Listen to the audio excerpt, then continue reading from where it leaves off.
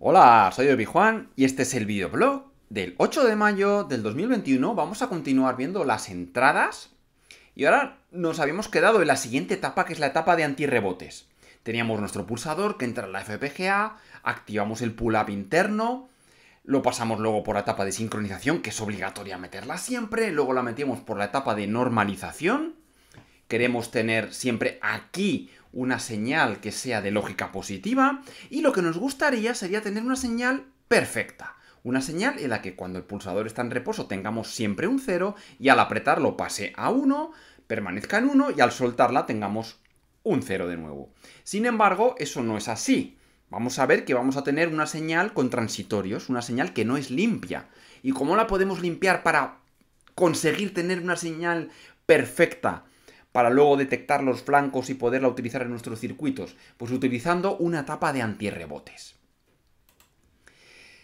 Esto lo que queremos obtener sería nuestra señal ideal, un 0 en reposo, de repente apretamos el pulsador en este instante, pasamos a 1, mientras lo tengamos apretado, queremos que esto esté a 1, en un momento determinado lo dejamos de pulsar, con lo cual con el muelle recuperador hace que se separen los contactos y otra vez vuelve a 0. Pues esto sería lo ideal. Sin embargo, ¿qué es lo que obtenemos en la realidad? Pues esto de aquí. Cuando apretamos el pulsador, efectivamente me llega primero aquí un, un flanco de subida me pasa uno, pero luego vuelvo otra vez a bajar y se produce lo que llamamos unos rebotes. Y está así durante un transitorio, subiendo, bajando, subiendo, bajando, hasta que llegamos ya al estado estable en el que se queda uno. Y luego al soltar el pulsador ocurre lo mismo, pero al revés. Al soltarlo, pues pasa a cero, obtenemos un cero, pero vienen una serie de pulsos y no tenemos un valor estable hasta el cabo de un cierto tiempo. Entonces, estos son los rebotes. ¿Y qué es lo que queremos? Pues eliminar estos rebotes y queremos obtener una señal pura. Ojo que esto solo ocurre cuando tengamos pulsadores que tienen contactos metálicos y, que, sea una, que sean pulsadores mecánicos, es decir, mecánicamente pues entren en contacto estos, estos dos metales, estos metales conductores. Entonces se van a producir rebotes. El que dure más o dure menos ya depende de cada pulsador. En algunos pulsadores pues este transitorio será más largo o menos largo. Y también incluso es, es muy aleatorio. Dentro del mismo pulsador pues puede ser que tengamos más rebotes o menos rebotes. Normalmente, como parámetro para diseñar, pues suele durar unos 5 milisegundos. Y eso ese es el tiempo base que vamos a tomar. Si al cabo de 5 milisegundos pues ya resulta que no nos llega ningún, ningún pulso, podemos considerar la señal estable. Pero esto en cualquier caso es algo que dependerá del pulsador. Por ello, lo primero que vamos a hacer, vamos a hacer un circuito detector de rebotes, vamos a comprobar que existen rebotes. Esto lo podríamos ver con un analizador lógico. Y en pantalla veremos perfectamente los rebotes. Pero si no tenemos el analizador lógico, pues con un circuito muy sencillo como el que vamos a probar ahora en Ice Studio, vamos a poder comprobar que efectivamente tenemos rebotes. Vamos a hacerlo. Vamos a lanzar Ice Studio. Y aquí tenemos nuestro circuito detector de rebotes, que no es más que un contador, que vamos a ir contando flancos de subida. Aquí tenemos nuestro pulsador, que, nos va a venir por el pin D13, lo tenemos conectado a un pulsador externo y como siempre tenemos nuestras etapas, de un, activamos el pull-up interno, la sincronización, tenemos luego la normalización y por aquí nos llega la entrada sin haber eliminado los rebotes. Simplemente queremos ver si hay rebotes o no hay rebotes. Esto viene por la etiqueta input que llega por aquí. Aquí tenemos un circuito para detectar si llegan flancos y cada vez que llegue un flanco, pues el, mi contador se va a incrementar. De manera que podemos contar cuántos flancos llegan. Si lo que nos llegasen fuesen señales puras, cada vez que apretamos el pulsador, pues el contador se me debería incrementar en una unidad. Y en los LEDs deberíamos ver un contador binario que se va incrementando cada vez que le damos al pulsador. Pues vamos a ver qué es lo que ocurre en la realidad. Este circuito lo vamos aquí a sintetizar, lo vamos a cargar es el mismo escenario que habíamos utilizado para las veces pasadas. Este es nuestro pulsador que entra por aquí por el, por el D13. Esto, los switches no los estamos utilizando. Y aquí lo tenemos ya cargado. Cuando le damos al, pulsador 1, que sería este de aquí, reseteamos el contador de, flancos recibidos. Y vamos a ver qué ocurre. Si yo ahora llego y aprieto, vemos que ahí me aparece un número en binario el, de menor peso es el de abajo. Aquí tendríamos ahora mismo el número en binario, el número 9. Entonces ahora suelto y ahí ha venido otro rebote también al soltar. Entonces la cantidad de rebotes pues va, a variar. Lo, volvemos a poner a cero, le damos y le doy más rápido. ¿Veis? Ahí me ha venido otra cantidad que, es mayor que 1. Le, volvemos a dar otra vez.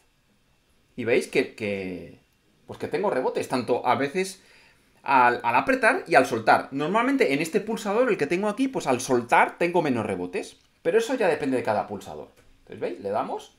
Y esto debería ser un contador binario, pero veis que es pues, una cosa un poco caótica, ¿no? Estamos contando muchísimos flancos. Van llegando muchos pulsos, porque no hemos metido ningún tipo de control de antirrebotes. Vamos a meterle un antirrebotes y vamos a, a comprobar el, a comparar el resultado que obtenemos con el antirrebotes. Y luego veremos por qué el antirrebotes funciona, si es que realmente nos funciona, ¿no? Pero siempre lo importante es tener un circuito que, nos detecte si llegan rebotes o no llegan rebotes para poderlo medir. Bueno, pues ¿cómo lo solucionamos? Le vamos a meter un antirrebotes. Lo tenemos en la colección Ice Input. Nos vamos aquí a Debouncer. Vamos a meterle uno de un bit porque solo tenemos un canal, una entrada pues le conectamos aquí el antirrebotes, lo, enchufamos y ese mismo circuito pero con el antirrebotes y vamos a comprobarlo. Le damos al control U, control U, lo sintetizamos, vamos a ir poniendo aquí la, la cámara, veis ahí ya está, ya está cargando mi circuito y ya lo tenemos cargado. Pues vamos a ver qué es lo que ocurre ahora. Aprieto, ya dejo apretado y tenemos uno, suelto, no pasa nada, dos, tres, cuatro, 5, 6, 7, 8, 9, 10, 11, 12, ¿veis? Me va contando un binario y ahora sí vemos que la cuenta es ascendente de uno en uno. Ahora no es aleatorio, volvemos a ponerlo a cero, otra vez. ¿Veis? Cada vez que aprieto me llega un flanco. Efectivamente es lo que queremos. Solo hay un flanco de subida, que es lo que estamos midiendo, con lo cual me está llegando una señal perfectamente limpia y pura que podemos utilizar sin ningún tipo de problemas en nuestros circuitos. ¿Cómo está implementado este antirrebotes? ¿Por qué funciona? Bueno, pues lo vamos a ver. Nos metemos aquí en el interior del bloque. Y aquí está ya, lo, tengo implementado con, a partir de otros bloques, con lo cual lo podemos ver aquí. Voy a abrirlo para que podamos ver las etiquetas. Entonces por aquí vienen las entradas, el reloj y la entrada. Y este sería nuestro circuito. Entonces, la idea del circuito es que vamos a considerar que la entrada es estable si ha estado al menos aproximadamente 5 milisegundos y medio sin cambiar. Entonces ahí consideraremos que es una entrada estable. Y por tanto, ese será el valor que capturaremos en este biestable de salida y es el que ya veremos ahí al exterior. Para, medir el tiempo utilizamos un contador de 16 bits que se va incrementando con cada ciclo de reloj y las cuentas aquí están hechas para un reloj de 12 MHz, que es el que tiene la, Alhambra. Para un... si utilizamos una placa que tenga una frecuencia de reloj mayor, pues habrá que meterle mayor número de bits, un contador que tenga más bits o menos bits. Esto habrá que hacer ahí el cálculo para saber cuántos bits. En el caso de tener 16 bits a 12 MHz, pues me sale que aproximadamente esto desde que llega a cero hasta que llega a su valor máximo y se produce el overflow, pues aproximadamente tarda 5,5 milisegundos. Entonces, la idea es la siguiente. Llega por aquí mi, señal de entrada. Inicialmente está a cero. Si, está, si la señal está, está a cero, por aquí estamos detectando si me llega un flanco tanto de subida como de bajada. Esto es un circuito que me detecta, oye, a ver, ha llegado un flanco de subida o uno de bajada. Si llega este flanco, me activa esta señal a 1 y este contador contamos. Eh, perdón, este, si llega un flanco, lo que hacemos es que reseteamos. Y si no me llega nada, esto sigue contando. ¿Hasta cuándo? Hasta que llegue al final y se produce un overflow. Y entonces, si, han transcurrido, si llegamos al overflow, quiere, quiere decir que, que no se ha reseteado, que no ha, habido ningún, no ha llegado ningún flanco ni de subida ni de bajada, por tanto es un valor estable y lo capturamos. Pero, si esto de repente llega el primer flanco, pues esto se resetea, con lo cual empieza a contar. Si antes de llegar hasta, hasta el final, antes de llegar a los 5,5 milisegundos, de repente llega otro flanco de subida de bajada, quiere decir que lo anterior no era estable. Entonces se vuelve a resetear Y es como que volvemos a contar. Entonces, cada vez que llega un flanco, reseteamos. Llegará un momento en el último flanco espúreo que, que ya será estable. Entonces, ya cuando llegue el último flanco espúreo, ya no vendrán después, no vendrán más, más flancos ni de subida ni de bajada, con lo cual esto podrá llegar al overflow, es decir, transcurrirá los 5,5, lo consideraremos estable y ya lo capturaremos aquí. Y ya habéis visto que esto ha funcionado. Y si esto ha funcionado, lo tengo calculado para 5 milisegundos, depende del pulsador. Hombre, yo con todos los pulsadores que he probado me funciona, pero podría ser algún pulsador por ahí que tuviese rebotes de 15 milisegundos, ¿no? Entonces, en ese caso, habría que aumentar la cuenta y estar durante más tiempo comprobando los espurios. ¿Veis? Pues ya está, este es el circuito antirrebotes y funciona, funciona, pues muy bien, como habéis podido ver, ¿no? Vamos a, vamos a, a volverla a poner, porque mola, ¿no? Le damos aquí, ¿veis? Es un gusto poder ver que estamos aquí eliminando los espurios. Entonces, veis que aquí hemos podido trabajar sin necesidad de tener ningún, ningún analizador lógico ni nada. Por supuesto que esto, si tenemos un, un analizador lógico, pues lo podemos ver. Y yo aquí le he conectado un analizador lógico y si veis, utilizáis por ejemplo SIGROC, que esto ya os haré un tutorial más adelante en el videoblog o, o uno aparte, para que veáis cómo podemos hacer las mediciones directamente con el analizador, incluso sin el analizador. Pues lo que obtenemos es esto. Veis que aquí hay, hay espurios al principio y aquí al final. Lo que pasa es que como no hemos hecho zoom, ¿no? Esto es durante todo el tiempo en el que hemos mantenido apretado el, el pulsador, que, esto lo he hecho como, como un humano, por tanto lo, lo intento hacer lo más rápido posible, pero mira, está aquí pues aproximadamente unos 35 milisegundos, ¿no? menos no, no, no he sido capaz de hacerlo. Si hacemos un zoom de aquí, vemos que todo esto son espurios. Llega el flanco original, luego aquí ¿Veis? Otro flanco, otro, otro, otro, aquí viene otro, otro, otro, otro, otro, ¿veis? Están llegando muchos, hasta que al final ya se estabiliza. Y lo mismo en la parte final. La parte final de aquí, que aquí no lo vemos, vemos que es un poquito más grueso, pero no se ve. Si hacemos zoom, pues lo que vemos es esto. Vemos que llega primero aquí uno primero, luego está como estable, luego llega aquí otro, y luego llega aquí otro, y ya aquí ya se estabiliza. Esto, insisto, que va, esta forma va a depender, es muy aleatoria, va a depender del pulsador, incluso de, de cómo le des, de cómo la aprietes, ¿no? Esto, esto cambia mucho. Pero si le metemos el antirrebotes, pues esto se lo va a eliminar todo y ya, y ya... Y tenemos la señal pura. Bueno, esto es el bloque, esto es lo que os he contado. Vamos a... No sé si tengo... Bueno, aquí. Aquí ya Aquí ya hemos comprobado que el antirrebotes funciona, lo, lo, lo, hemos hecho experimentalmente, aquí está medido con el analizador lógico. Entonces, aquí podéis ver lo que ocurre. Esta es la señal de entrada sin limpiar, esta es la señal de salida. Esta señal de salida, veis que es totalmente limpia, es perfecta. Un cuadrado ahí perfecto. Por tanto, aquí ya, si detectamos los flancos, pues vemos que solo tiene un flanco de subida y solo tiene un flanco de bajada con lo cual podemos saber cuándo se ha apretado la tecla y cuándo se ha liberado con total normalidad. ¿Qué perdemos? ¿O qué, cuál es el precio que hemos pagado para lograr esta pureza de señal? Pues que la señal se ha retrasado. Se ha retrasado todo este tiempo. En realidad hemos apretado aquí. Pero hasta que no ha pasado todo este tiempo, no podemos garantizar que esta es la, señal buena. Entonces, aquí ya sí tenemos la señal buena. Pues la hemos retrasado. ¿Cuánto tiempo se ha retrasado? Pues en el en este caso es desde que ha llegado el último espurio, que se ha llegado por aquí, pues 5,5 milisegundos después ya hemos garantizado que la señal es estable. Por tanto, el tiempo de, que se retrasa la señal son los 5,5 que tenemos en el contador más lo que realmente tarde, el, lo que dure los espurios. Ese es el tiempo. Entonces es un retraso que además es un retraso variable. Que, dependerá, a veces tardará, se retrasará menos, a veces se retrasará más. Pero cuando estamos trabajando con circuitos con humanos, pues eso pues pues no nos importa. En otras aplicaciones, dependiendo de dónde nos venga esto, pues tendremos que tener en cuenta los retardos o no. En cualquier caso, es el precio a pagar. Pero si los retardos nos dan igual, pues esta es una señal pura es perfecta para poder trabajar con ella.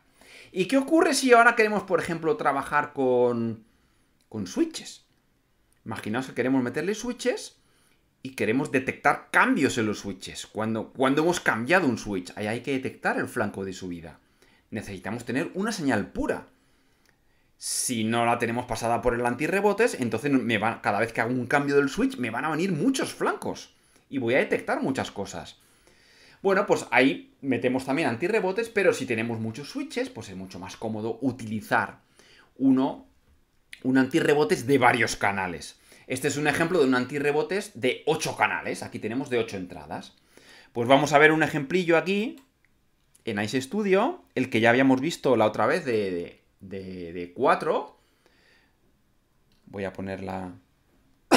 Perdón. Bueno, ahora, ahora saco la webcam. Aquí tenemos el, el ejemplo de toda la vida, que tenemos nuestros switches de entrada. Luego tenemos el, los cuatro pull-ups en paralelo, los cuatro canales de sincronización, las cuatro puertas NOT para normalizar la señal, y aquí tenemos los, los cuatro antirrebotes en paralelo. Lo que pasa es que como utilizamos bloques de bus, perdonad que me está dando la tos, no sé por qué, pues el circuito es muy compacto, pero estamos trabajando con buses de 4 bits. Y al final la salida la vamos a ver los LEDs. Que bueno, aquí el circuito pues no es muy espectacular y de hecho si quitamos el antirrebotes va a funcionar igual porque lo estamos viendo aquí en los LEDs y, nuestros ojos no van a apreciar los rebotes ni lo vamos a ver. Simplemente este es un ejemplo pues para que veáis que al meter el antirrebotes, bueno, pues también me funciona. Que no ocurre nada raro. Sin embargo, para comprobar que efectivamente estas señales de aquí son limpias, habría que conectar o, bien capturar los flancos como hemos hecho antes, o bien mostrarlo en el analizador. Pero bueno, simplemente para que lo veáis, lo voy a poner aquí. Aquí tenemos nuestros cuatro switches. Aquí tenemos nuestro circuito, lo vamos a sintetizar, lo vamos a cargar. Y, y simplemente, pues, pues para que veáis que esto está funcionando. Y ya está. Vamos aquí sintetizando, ya está sintetizado, ya lo tenemos. Los switches están todos a cero, con lo cual los, los LEDs están a cero. Ahora le voy a dar aquí con las pinzas porque es más así y que no se me levante. Es que es complicado, estos microswitches en, en ProtoWar son complicados. ¿Veis? Ahí le vamos dando. Y por supuesto esto sigue funcionando. Ahí lo, lo, tengo mal puesto a ProtoWar y ahora lo voy a quitar. Lo voy a quitar. Y ahí, bueno. Podéis ver que más o menos funciona. Los efectos raros que hay no son por el antirrebote, si, si no es porque tengo el, el, el ProtoWar, lo tengo aquí todo un poquito más inestable. Pero ya lo tenemos funcionando. Con esto hemos terminado ya con todas las etapas que hay, hemos visto en detalle y cómo, cómo funcionan y todas las etapas, todas a su vez ya las tenemos implementadas a su vez en bloques de Ice Studio, con lo cual cualquiera de vosotros las puede modificar, las podéis medir, podéis estudiar y podéis crear componentes nuevos fácilmente a partir de ellas. Ahora, ¿qué nos queda? Pues lo siguiente, en el siguiente vídeo veremos ya ejemplos de utilización, porque, hombre, si nosotros lo que queremos es utilizar las señales de los pulsadores, pues es muy incómodo tener que meter todas las etapas, sino que todas estas etapas las vamos a encapsular a su vez dentro de otros bloques para que sea todo un poquito más sencillo. Aquí lo dejamos, esto es todo desde Obi Academy, que las FPGAs libres os acompañen.